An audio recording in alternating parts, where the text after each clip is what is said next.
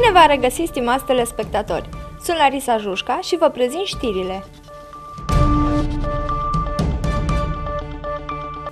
Ieri în Comuna Traian Vuia s-a finalizat un proiect început în vara acestui an. Este vorba despre proiectul numit Dă-mi o șansă, proiect finanțat prin programul operațional sectorial Dezvoltarea Resurselor Umane. În cadrul acestui proiect s-au făcut cursuri de calificare pentru meseria de vânzător. Haideți să-l ascultăm pe Vasile Petruescu, principalul vinovat pentru acest proiect. Pot spune că sunt unul dintre vinovații, vinovați fără vină, de altfel, uh, a ceea ce se întâmplă astăzi. Astăzi punem punct sau finalul unui proiect, proiectul se numește Dăm o șansă, un proiect finanțat prin Programul Operațional Sectorial Dezvoltarea Resurselor Umane, proiect finanțat de Postdru, așa cum am spus, uh, Aplicantul principal este Universitatea de Vest, Sindicatul Prometeu. E un proiect pilot la nivel de țară, un proiect strategic. În cadrul acestuia s-au făcut cursuri de calificare în două regiuni, regiunea Est și regiunea Vest.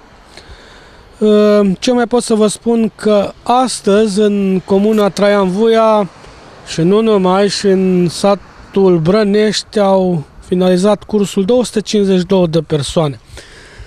Uh, totodată vreau să spun că sunt mândru, sunt bucuros că am participat, am pus o mână ca cei 252 de persoane astăzi să termine un curs de calificare de vânzător.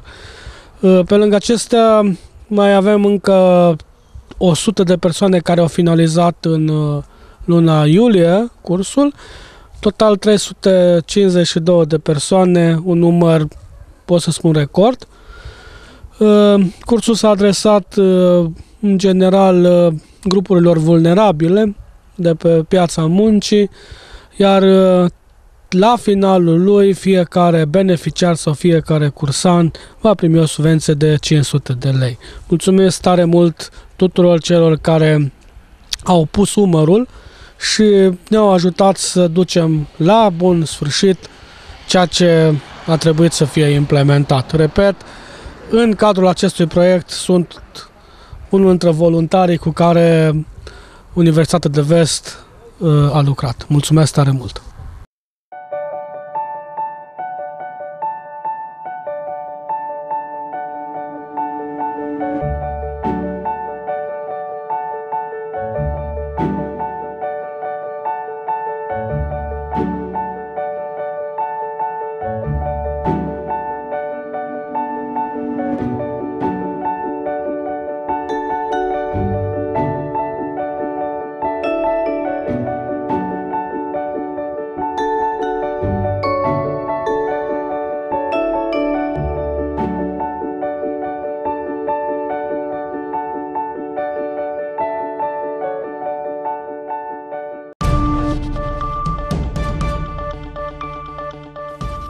Făgetul, cunoscut în istorie ca făgetul român, german și maghiar, a cunoscut o dezvoltare diferențiată.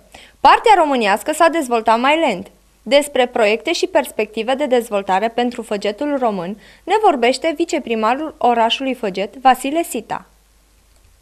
Stimați telespectatori, suntem în partea românească, uh, așa cum este împărțit uh, făgetul cadastral, uh, făgetul german, făgetul maghiar și făgetul român. Sunt de vorbă cu domnul viceprimar Vasile Sita despre dezvoltarea acestei zone care, de ce să nu recunoaștem, cu câteva mici excepții, de-a lungul anilor a fost cam dată uitării. Da, doresc să vă spun că în acest an au fost realizate lucrări edilitare în partea românească, au fost asfaltate un număr de 5 străzi, Uh, care au fost completarea celor uh, pe care noi anul trecut le-am realizat, urmând ca pentru bugetul anului 2016 să prevedem uh, reabilitarea prin pavare a tuturor străzilor din partea românească. De asemenea, vom prevedea în bugetul pe anul 2016 reabilitarea Parcului Unirii, să-l aducem la standarde actuale. El, într-adevăr, datorită lucrărilor care s-au executat în, în centrul civic al Făgetului și în special în zona centrală, la, la drumul național, a fost puțin lăsat deoparte. Dar începând de anul acesta și continuând cu anul 2016, ne vom ocupa de și vom da un nou aspect acestui, acestui parc și bineînțeles tuturor străzilor din partea românească partea care de fapt după nume este a noastră a românilor.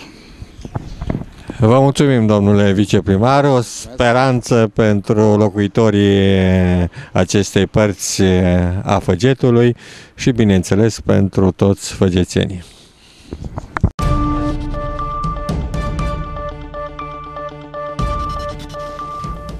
Dragi telespectatori, acestea au fost știrile. Ne revedem mâine la aceeași oră. Rămâneți pe Autentic TV. La revedere!